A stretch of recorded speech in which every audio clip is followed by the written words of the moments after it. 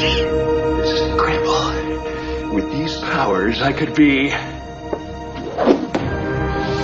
superhero! I could fight crime, protect the innocent. Work for world peace! But first,